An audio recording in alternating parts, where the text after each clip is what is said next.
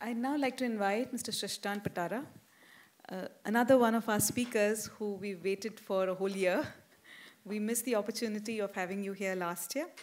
He's uh, with the Development Alternatives Group uh, and the Chief Executive Officer at Tara. An architect by training, he's been with this group since 1988, providing research expertise, management capability, and strategic direction to teams working in the areas of habitat, renewable energy, water and sanitation, waste recycling, and livelihood support systems. His work is focused on the co creation of multi stakeholder based service delivery models that promote sustainability through local economic development, regeneration of the environment, and greater social equity. Mr. Patara, over to you. Thank you. Thank you, Gayatri. Um,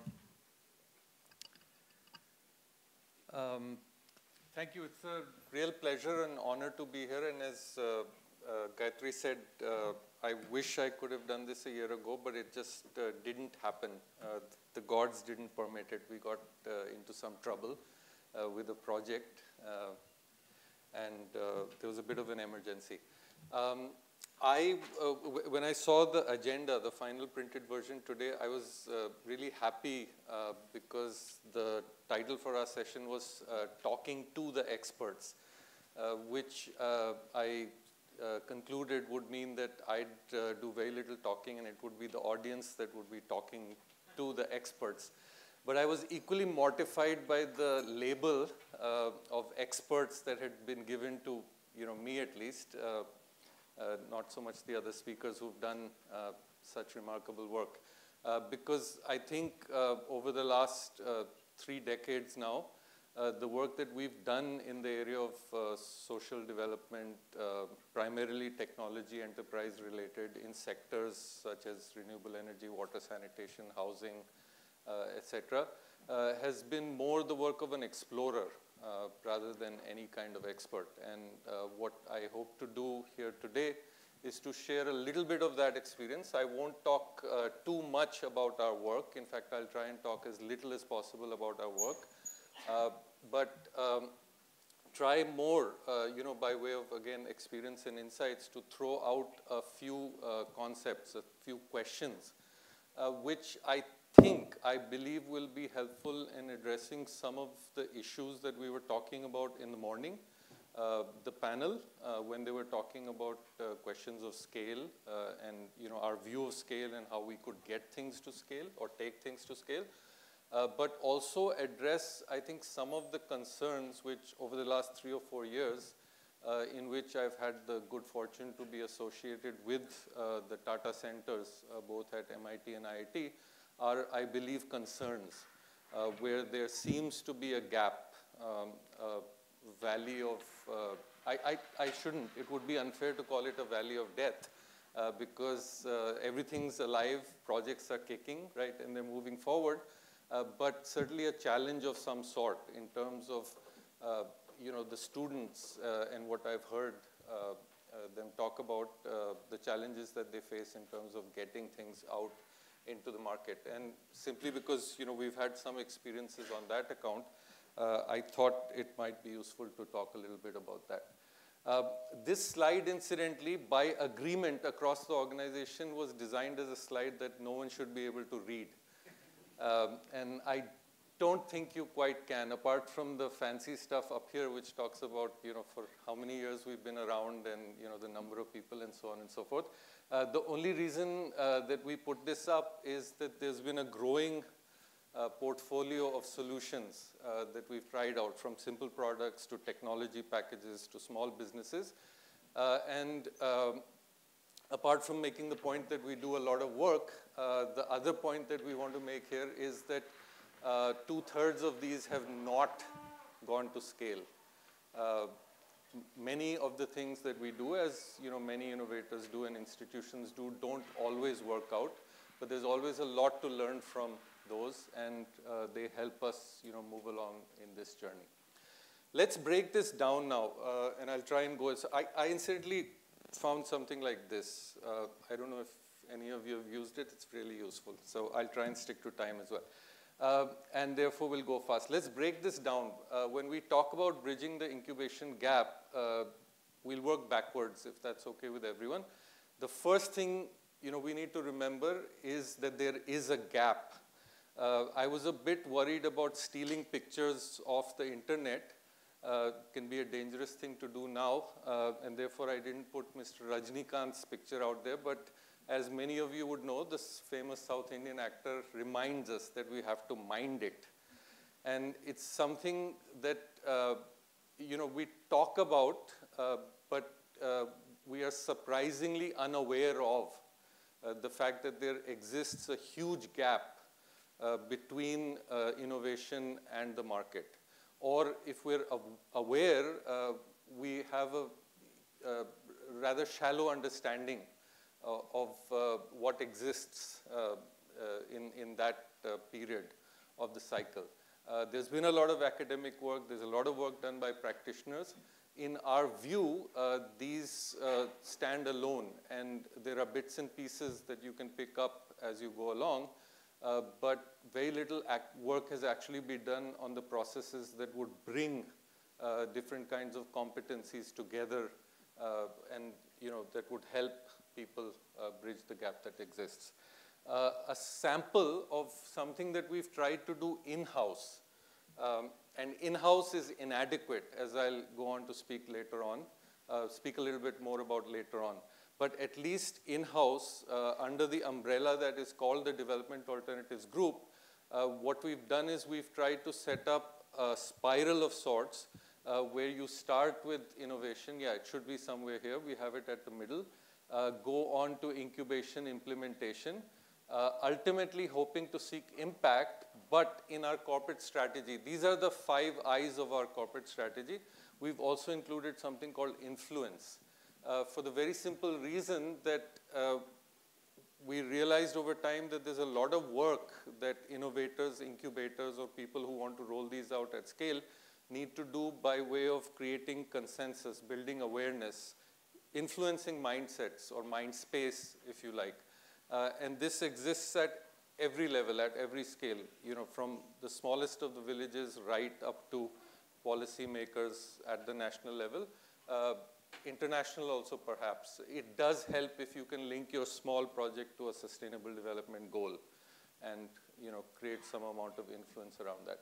Uh, and it's, uh, it's not linear, right? Uh, and that's why it's, uh, we've conceived of this as a spiral, and there are processes within the organization where any product or any technology uh, keeps touching these bases as it sort of rolls out or spirals out uh, uh, from just being an idea to actually getting out there into the field. Um, if we look at incubation itself, and this uh, uh, this section here is a personal view um, that I'm sharing. Uh, the question to my mind is really how can we incubate or how can we complete or fulfill the in incubation function without being incubated?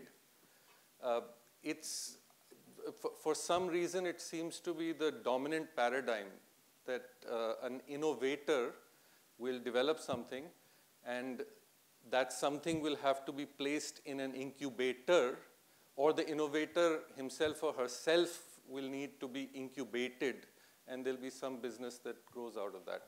Uh, while that may work, uh, and it certainly worked for you know, all kinds of startups, uh, many of whom have gone to scale really fast, it's our belief that if you're talking about issues which are poverty, environment related, uh, things that uh, you know, our challenges in the development sector, uh, the complexity uh, of the problem at hand, and therefore the complexity that you need in the solution, or it's a, or, or, or the um, robustness that you need in the solution to be able to deal with that complexity is such that a simple, straightforward, linear kind of approach will not work. Right? Uh, it might you know, work for some new tech product, but it won't work if you're talking about transforming the lives of people um, in villages, rural India, small towns, urban areas where you know, problems can be complex. And therefore, uh, you, you, you need something in which there are several par parallel processes going on at the same time. Uh, there are actors who are working together, etc. An example of what I'm talking about, uh, this is uh, this, this is a slide uh, that I often say is my job description. Uh, as you know, a senior management person within Tara, which is how do you take a product out into the market, beginning with a lot of grant funding. Uh, and grants are good. I have no problem with grants. It's what keeps our organization going. Uh, and they're good also because uh, we, we need assistance to innovate. Uh, in fact, I think it's quite the tragedy of the last uh, 10 to 15 years, maybe, that uh, funding available for innovation has been drying up. It's been getting smaller and smaller. Uh, you can today, uh, in India, uh, quite easily walk into the government, walk into a government office or walk into a corporate house and get funding to build 10,000 toilets. Uh, believe me, because we do this almost day in and day out, it's five times more difficult, probably even more than that, to get one hundredth of that funding to do any kind of innovation on a, a sanitation solution, right? Uh, it wasn't the case uh, 25, maybe even 20 years ago. So one, you need to do this. Uh, two, we recognize the fact that you know things cannot be grant funded forever, and therefore you need to also bring in some kind of commercial investment and hope that over time your revenues take over. Again, within uh, the uh, corporate structure that we have, we have therefore three kinds of entities. You have development alternatives that handles the innovation. You have TARA that handles the incubation. And then we have a handful of companies, uh, this being one of them, Tara Life Sustainability Solutions Private Limited, that takes it to market. Um, I'm using this as an example simply because it's in-house. It's something that we know really well. But as I'll try and point out here, if we are to address uh, or, or to, if we are to have impact at scale, uh, then we need to do what uh, several of the speakers were talking about the morning, and I was uh, delighted. Uh, I wanted to jump on stage and you know sort of shake her hand when Soumya, um, Soumya, yeah, Soumya said, you know, the word, the big takeaway from this session has to be collaborate, right? because what we are trying to do in-house in the development alternatives group, uh, you know, performing these different functions, uh, uh, you know, having these kind of entities actually needs to be done uh, societally uh, at uh, the level of a network, a social institution of sorts, movements, collaboratives, etc., if you like, if we are to have any impact. And therefore, the question uh, that we ask increasingly and uh, the answers to which, you know, we're finding the answers, but we're letting those answers influence our work is how do you manage an innovation, incubation to commercialization kind of process that doesn't look like this, but looks as messy as this? Uh, what kind of a system do you need to put in place where this can happen, right? Where you have, right, from the user to the producer, marketer, to the innovator, to other kinds of people who provide inputs are working together. Uh, so that we can break away from uh, what might sound very comforting but is inadequate, which is a step-by-step -step process where you go through these kind of phases. Uh, we're convinced you need different kinds of people, you need them working together. Um, and if you get it right, uh, then not only will you have better results, uh, you won't you know, make that many mistakes and come back to ask questions, but you'll also uh, do it faster. You'll do it right and you'll do it faster. So this is what occupies a lot of our stuff. If this might sound, you know, theoretical, conceptual, it's uh, not. Uh, in the last 10 years or so, uh, with uh, inputs uh, from several sources, but primarily from a gentleman who works out of Bangalore, uh, the PNP group. he's an expert on interorganizational effectiveness. we've brought methods, tools, etc., into our work. And I did want to, I hope it's visible from all the seats, listening to a few of the speakers in the morning, I did want to make a pitch for something that's called systemsplay.com, uh, you can go to this website. Our uh, uh, tagline is collaborate to innovate for people and planet. Uh, Systems Play is a repository of knowledge resources uh, that we've set up uh, with a few people in Brazil, in South Africa, um, other parts of Asia, and a few you know, floating resources that we have across the world. It's a network for precisely this purpose. People who want to be systemic uh, in their approach to innovation. People who want to collaborate uh, should have the tools to be able to manage that process. Uh, there's already some stuff up there. Uh, it's not just material that you know we have developed and are throwing out, but very much a platform in which you know we'd like experiences, case studies, tools, methods uh, uh, for everyone who's interested in you know this particular way of working to be able to contribute also to that. Um, I can skip this now. It was just about you know the organizational setup, uh, saying that you know it's a lot of learning there. Uh, I added these two slides simply on account of a few uh, points that were again made in the morning in terms of uh, what to work on. Uh, and for us, it's not uh, you know really a question of chemistry or physics or biology. and those aren't the starting points. The starting points are actually whether uh, you know, you'll be promoting environmental sustainability. Are you addressing those problems? And therefore, uh, building materials and waste, for example, are areas of intense focus for the organization. And the other uh, starting point for us is whether those solutions would enhance livelihood security and the quality of life. And therefore, uh, what uh, agri-food related stuff, services, etc., that you know, people can earn incomes from and basic needs become an area of focus. That's all for now at least. Thank you very much. I hope to connect with everyone much more in the future. Thank you. Good evening, sir. Yeah. So, uh, according to you, like I'm also working with uh, several incubators. So I would like to ask, according to you, uh, an ideal incubator, what it it should be in mind to uh, make that product or that innovative idea into the commercialized product and how to get that uh, right people and find that uh, this is the, has the market potential. Uh, right, right people would mean uh, right innovators for commercializing the product into the market. And and and you're you're not the innovator yourself. Yes, I'm not the innovator. I'm the incubator partner. I'm.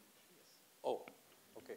Um, and, and one, you're interested in you know, connecting with a lot of people who have developed new products or technologies, yes. and then you want to help them uh, take it out. Okay. Uh, a couple of things. Uh, one, uh, it, it, I mean, is there easy access to potential users? Uh, can you can you help them uh, test their product, validate it, uh, or uh, the, the, the phrase we use is, can you help them validate conditions under which it could scale? Right? Figure that out. That would certainly be very, very helpful. Uh, I think uh, there'd be some amount of basic uh, business development or business management expertise that you'd have to provide. Uh, I think a lot of uh, stuff in terms of uh, what could go wrong. Uh, you'd have to bring the, you, you need to bring people in to your question about who you know is required. people who don't think alike, right? who can look at that particular solution from many different angles. Right? I, I don't know if I've you know, answered your question or even understood it completely, but those would be, I guess, the top three qualities. Um, a lot of incubators uh, look at uh, things from a financial perspective. Uh, I mean, th th that's again a sort of dominant view that they tend to take uh, in terms of how to get something investor ready. Uh, in our line of work, that's not, you know, so important uh, because again, we're not necessarily uh, when we talk about incubating things, we're not necessarily talking about incubating them, taking them to scale so that you make a lot of money yourself, right? Uh, in fact, to that point on scale uh, in the morning, uh, the, the, there's a huge difference between wanting to create impact at scale as against scaling up your own business. These are, these are two very, very different things, right? Uh, if, if we wanted, say, for example, our objective was, uh, we as in anyone and their partners, uh, and again, I'm talking about a highly collaborative model with, you know, shared goals, shared purpose, etc. If we wanted to create impact at scale, uh, we wouldn't take a view uh, when incubating something that our primary objective is to raise funding and then obviously, you know, provide high returns to the people who put money into our business, right? Uh, because the gains could, uh, one would go to several people and would also be diversified in nature.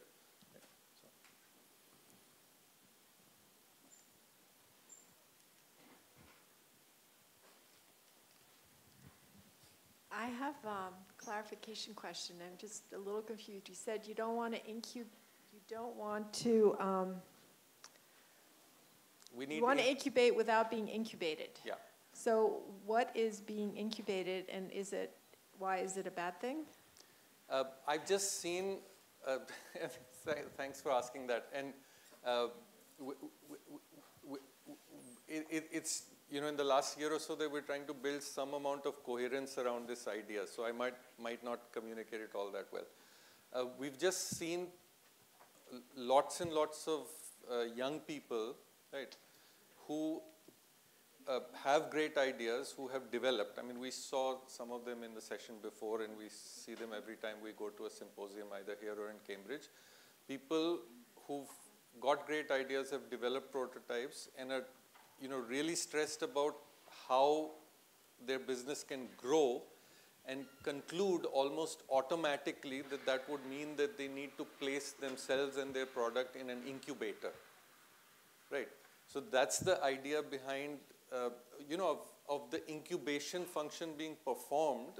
And if I connect that to the other one, uh, more collaboratively, right, in an ecosystem without that person or product necessarily having to be incubated by anyone, right? Uh, it, it, we, we just feel it works. I mean, uh, incubators succeed. It, we just feel that for the kind of things that we want to work on, it's too narrow a definition of how that function should be fulfilled. Yes, sir. So, uh, you mentioned that many of your uh, products could not be scaled up so what is the important learning from that? Because many times when we're talking about scaling up, we talk about uh, replicability. So many of these solutions probably need uh, local context and local, again, renovation or some yeah. adjustment to the local conditions. So have those lessons from the so-called limited success, have they led to some other innovations and the, has the cycle continued? Yeah. Uh, the, the, the, the biggest lesson, uh, both in terms of you know what uh, situation instances in which something went wrong, and then uh, examples where something went right, uh, is in terms of uh, making sure that you have inputs from different kind of stakeholders uh, throughout the process. the worst mistakes that we have made, uh, Saumen is, is he there? Yeah, there he is. He's our chief technology officer of, of sorts. Uh, so bear with me on this. Uh, the worst mistakes we've made is when two people in office have got together, you know, thought they had a brilliant idea, wrote a proposal, submitted it to the Department of Science and Technology or to a foreign donor, right, and worked three years on developing something that just doesn't work, right? That, that's the extreme case. Uh, I, in 2005, was uh, guilty of this. Uh, there was a project on cook stoves, right? And uh, we had funding from the Shell Foundation. Uh, we, not just the funding, but uh, we also had access to expertise, global expertise, the best expertise on cook stove design. And uh, for want of a better phrase, we went on a trip, developed a few cook stoves, a colleague of mine, a counterpart of mine of sorts in the marketing uh, group, uh, when she made her first visit to uh, the place where all these prototypes were spread out in Bundelkhand, and we'd actually done 1,200 houses, right, where these were being used. Uh, she walks in and she says, how much does this weigh? And we're looking at each other because no one had ever weighed the product, right? A marketing and distribution person, her immediate concern was how do I ship this anywhere, right? And the three or four people that had worked on it, including international experts, had just you know, blanked out to that. So those are the worst kind of mistakes, and the successes come from uh, doing that. Uh, one of Saumen's most successful projects uh, was in the brick sector, uh, where uh, there was a, a, a, technology, a vertical shaft brick kiln, as against bricks being laid out in the ground. people in China, as a cottage industry, had innovated a technology where bricks would travel through a shaft. Um, so uh, with, again, international funding, experts, you know, who uh, were from the Swiss brick industry to our Chinese counterparts to Indian brick manufacturers. From day one, we were working with not just brick manufacturers, but the fire masters, the people in the brick industry. So that went really well. That technology is moved uh, to Nepal, Afghanistan, Pakistan, uh, South Africa, Malawi, uh, simply because it's robust. The, uh, uh, uh, it, as I said, I mean, things are complex, right? And if you can get all the factors in that you need, you build the robustness to deal with, you know, that complexity. Sorry, I hope that didn't take too long. I'm Samir from Belgaum. Yes, sir. I, I had uh, three things. One is uh, the Tara loom, then the Tara press for making the bricks, and the cook stoves. If all these three technologies out of the two-thirds that uh, are of your uh, these things now, if they are put to different applications, for example, the weighing of the chula is uh, too, too heavy, for example. They can be built on site, is one. Yeah. So can, can, are these technologies available so that we can still take it further and uh, try to disseminate? Most definitely so. And uh, we're very open, uh, you know, with uh, all the details about the technologies. So uh, chulas, are you talking about the portable metal stove or the? Metal stove as well as the Sure. Cement and brick. Uh, definitely. Uh, drawings, etc. For that, the looms, etc. Everything is available. Uh, we, we had a good run with all of these technologies. Uh, the Balram, for example, the yeah, brick, the press, yeah. Uh, we developed that in 86, 87 and had a fairly good run with it till about 95, 96. Uh, we started getting signals from you know, people who were using it, primarily community groups in villages, etc that uh, hard physical labor is something that uh, people are going to want to do less and less of. Uh, so from about 2004, 2005 till now, all our machines now are partially mechanized, fully automated, all the, the entire range of brick-making technology. Um, and, you know, it, it's, a, it, it, it's a question of whether that's desirable or not, but we just, you know, had very clear signals Yeah, the application can be different now. It yeah, sure, definitely. STP sludge. Uh, definitely. Making and uh, just disposing those. Uh, definitely. Sludge. And I'll, uh, I'll share my contact details with you. We'd be very happy to share you know, whatever we have. Thank you. Thank you. Yeah, sure. Thank you, Mr. Patara. Thank you. We will have Thank to wait so much. We'll, uh, a little something for you. Uh, Aditya, please. Thank you. Thank you. Thanks. Thank you. Uh, for I can see a few hands for more questions. We could we would like to take this offline because we have another speaker here, after which we have our fellow session.